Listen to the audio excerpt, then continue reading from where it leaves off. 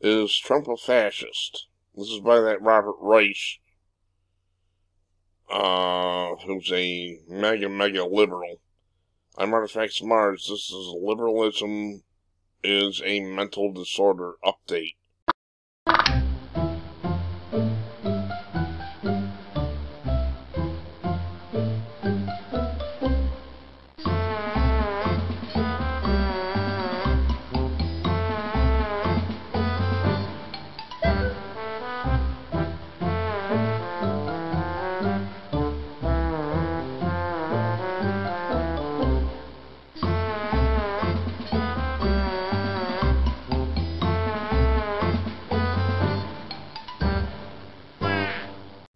I'm gonna put put this on uh, YouTube instead of on Rumble, and the reason is he has a video on YouTube, so I'm going to upload it to YouTube instead, so I can reply properly.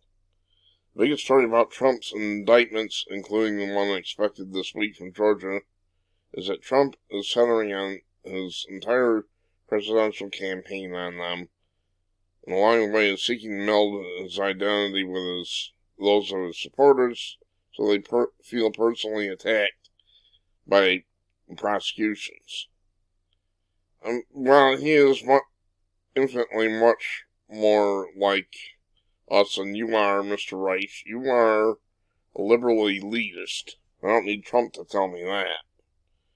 For Trump supporters, is not rallying around the flag, it's not even rallying around the former president. It's rallying around themselves, aligning their personal identities with Trump. More than half the Republicans, including 77% of self-identified MAGA Republicans, say indictments and investigations against Trump are an attack on people like them, according to CBS News slash YouGov poll taken soon after the most recent indictment. Uh, I'm going to go a little further, Mr. Reich. I'm on record, and I'm not backing away from this. This is a communist show trial. I appear to be the only one saying this. But I know my history. I know what it was like under the Soviet Union, under those uh, that people like you idolize, which are communists. Think of it this way the indictments, Trump's 2024 campaign, the grievances of millions of Americans against a system that has bullied them for years, meaning uh, white conservatives, probably, and Trump's pathological narcissism are all fussing, fusing into a single, unalterable, irrational mass movement. You're not getting it. We want, uh, all we want is to be able to vote for the, our candidate of our choice. That choice is being taken away from us. We're being told to vote for a communist every time. It's not to the point where it was in the Soviet Union where the government told you which uh, candidate to vote for and then you voted for him, but, but it's very close to that. There would be one person on the ballot. If you didn't vote for him, it was off to Siberia with you. That's how things worked in the Soviet Union. I am your justice, I am your retribution, Trump said when announcing his campaign. I'm being indicted for you, he said in June, after being charged with retaining government secrets. Well, that's true. Uh, they're indicting him to try to keep him out of the campaign.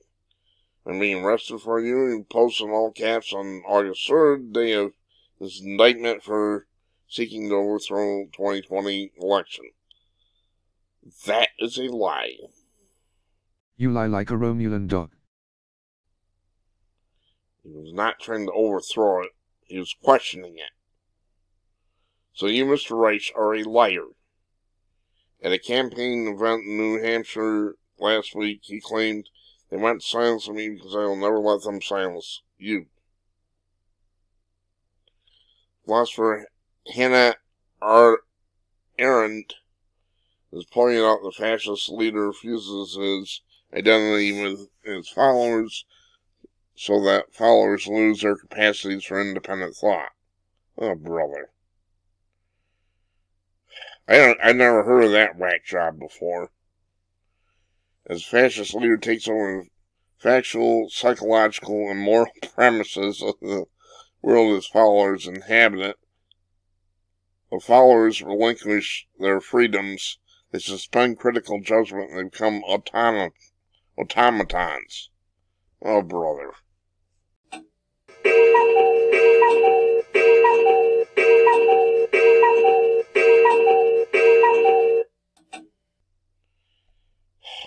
Unbelievable. Be warned what Trump and much of the Republican Party have embarked upon is as dangerous as the future of our democracy and to the rest of the world that looks for America for leadership, as was Trump's attempted coup leading up to January 6, 2021. That is a lie. If your nose grew when you spoke, it would be a redwood. Again. That's another lie by Mr. Reich. We need to get the word out. I'm not listening to communists. I recently shared with you what I consider to be the five core elements of fascism and why fascism is different from authoritarianism. I argue that Trump and his Republican Party are moving rapidly toward fascism the Republicans aren't that ambitious, and I urge the media to use the term fascist rather than authoritarian to describe what Trump and his GOP are up to. Wow. This guy is seriously off his rocker. Talented young people I work with uh, at Inequality Media Civic Action have produced a powerful video that uses actual clips of Trump to make these points. I'm sharing it with you in hopes that you find it useful. Please share.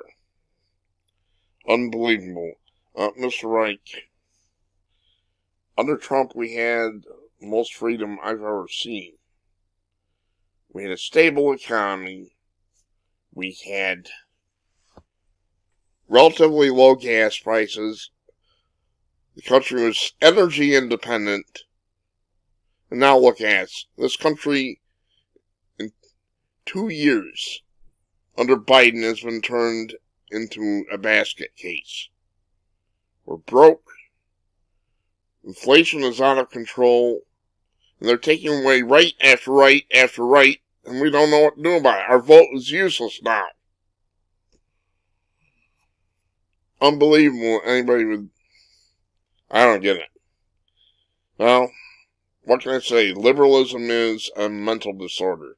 Michael Savage is right about that, and this guy is a uh, primary case of that. The, the mental disorder of liberalism. I'm Artifacts of Mars. Thanks for watching.